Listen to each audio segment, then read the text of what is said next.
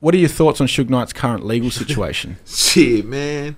Suge finna get off, dude. I mean, the dude came over there and started punching all him and shit and pulled out the pistol and got ready to shoot him and, and Suge backed up and ran both of the motherfuckers over. Everybody, I'm, I don't even know none of them cats like that. You know what I'm saying? I, I met Suge once or twice, and you know I never had no no problems with him and shit. But I'm, I know a lot of cats who did have problems with him. You know what I'm saying? And um, you know, shit. I mean,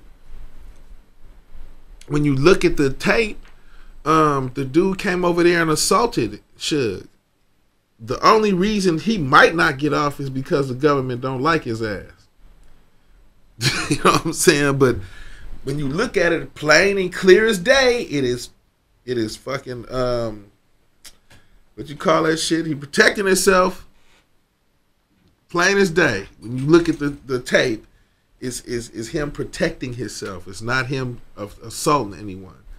You know what I'm saying? Yeah, he ran over. He, he didn't have to run all the way over the motherfuckers like he did, but he ran all the way over the over the motherfucker. Man, that that was crazy. But I mean, shit, they was trying. They was trying to fucking kill the nigga. You know what I'm saying? So I mean, shit. I mean, I don't really know.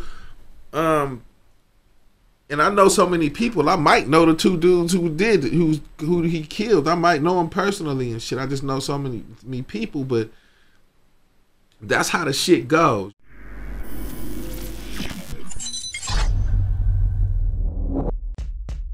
I think pedophiles are the scum of the fucking earth. I agree. I think pedophiles should be euthanized. Oh, like Kill them. Second of all, I'd have been like, holy shit. Right. Like the guy who I thought, if you look at over time, who probably is the greatest MC, I would go, I would say Jay Z. Um, I would now have to kick you down. right. And, and well, my point And is And that's what I had to do with Drake, technically. right.